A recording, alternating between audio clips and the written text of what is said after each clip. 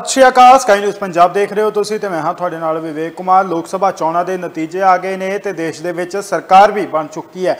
ਤੇ ਉੱਥੇ ਹੀ ਦੂਸਰੇ ਪਾਸੇ ਗੱਲ ਕਰੀਏ ਤਾਂ ਪਾਰਟੀਆਂ ਆਪਣੇ ਆਪਣੇ ਪੱਧਰ ਦੇ ਉੱਤੇ ਮੰਥਨ ਮੀਟਿੰਗਾਂ ਵੀ ਕਰ ਰਹੀਆਂ ਨੇ ਕਿ ਕਿਹੜੇ ਕਾਰਨ ਰਹੇ ਕਿ ਪਾਰਟੀਆਂ ਜਿਹੜੀ ਜ਼ਿਆਦਾ ਸੀਟਾਂ ਨਹੀਂ ਕੱਢ ਪਾਈ। ਸੋ ਇਸੇ ਕੜੀ ਤਹਿਤ ਹੁਣ ਕੱਲ ਨੂੰ ਸ਼੍ਰੋਮਣੀ ਅਕਾਲੀ ਦਲ ਦੇ ਵੱਲੋਂ ਵੀ ਇੱਕ ਵੱਡੀ ਮੀਟਿੰਗ ਰੱਖੀ ਗਈ ਹੈ, ਮੰਥਨ ਮੀਟਿੰਗ ਰੱਖੀ ਗਈ ਹੈ। ਕੋਰ ਕਮੇਟੀ ਦੀ ਇਹ ਮੀਟਿੰਗ ਹੋਵੇਗੀ, ਜਿਸ ਦੇ ਵਿੱਚ ਮੰਥਨ ਕੀਤਾ ਜਾਵੇਗਾ ਕਿ ਕਿਹੜੇ ਕਾਰਨ ਰਹੇ ਕਿ ਅਕਾਲੀ ਦਲ ਪੰਜਾਬ ਦੇ ਵਿੱਚ ਵਧੀਆ ਪ੍ਰਦਰਸ਼ਨ ਨਹੀਂ ਕਰ ਸਕਿਆ। ਜੇਕਰ 2024 ਲੋਕ ਸਭਾ ਚੋਣਾਂ ਦੀ ਗੱਲ ਕਰੀਏ ਤਾਂ ਅਕਾਲੀ ਦਲ ਸਿਰਫ ਆਪਣੀ ਬਠਿੰਡਾ ਸੀਟ ਬਚਾਉਣ ਦੇ ਵਿੱਚ ਕਾਮਯਾਬ ਹੋਇਆ ਹੈ। ਬਹੁਤ ਸੀਟਾਂ ਦੇ ਉੱਤੇ ਅਕਾਲੀ ਦਲ ਦੇ ਉਮੀਦਵਾਰਾਂ ਦੀਆਂ ਜ਼ਮਾਨਤਾਂ ਵੀ ਜ਼ਬਤ ਹੋਈਆਂ ਨੇ। ਸੋ ਜਿਸ ਨੂੰ ਲੈ ਕੇ ਲਗਾਤਾਰ ਅਕਾਲੀ ਦਲ ਦੇ ਵਿੱਚ ਵੀ ਬਾਗੀ ਸੁਰ ਉੱਠਣੇ ਸ਼ੁਰੂ ਹੋ ਗਏ ਨੇ ਜਿੱਥੇ ਮੁੱਲਾਪੁਰ ਜਿੱਥੇ ਦ- ਮੁੱਲਾਪੁਰ ਤੋਂ ਵਿਧਾਇਕ ਜਿਹੜੇ ਨੇ ਅ, ਮਨਪ੍ਰੀਤ ਇਆਲੀ ਉਹਨਾਂ ਨੇ ਵੀ ਪਾਰਟੀ ਦੇ ਉੱਤੇ ਸਵਾਲ ਚੁੱਕੇ ਤੇ ਉਸ ਤੋਂ ਬਾਅਦ ਬਾਗੀ ਤੇਵਰ ਜਿਹੜਾ ਨੇ ਅਪਣਾਉਂਦੇ ਹੋਏ ਨਜ਼ਰ ਆਏ। ਇਸ ਤੋਂ ਇਲਾਵਾ ਬੀਤੇ ਦਿਨੀ ਸ਼੍ਰੋਮਣੀ ਅਕਾਲੀ ਦਲ ਦੇ ਵਿੱਚ ਸ਼ਾ- ਸ਼ਾਮਿਲ ਹੋਏ।